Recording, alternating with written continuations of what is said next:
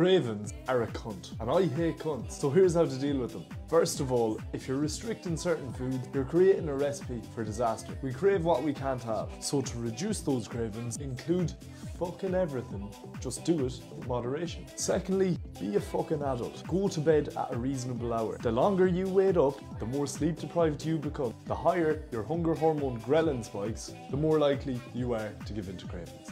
Set aside 2 to 300 calories for late in the evening. At least that way you'll actually be able to satisfy yourself with the foods that you desire and you're way less likely to binge. If you're a female in the luteal phase of your cycle, it's to be expected that you're gonna crave more because during this phase, progesterone rises. So does your body's temperature. This causes your basal metabolic rate to also increase. So it's no wonder you're hungry. To accommodate for this, give yourself an additional 1 to 300 calories. Then return back to the calories that you were on when the cravings disappear. Eat more protein, eat more fibre, and don't be a dick, drop me a follow.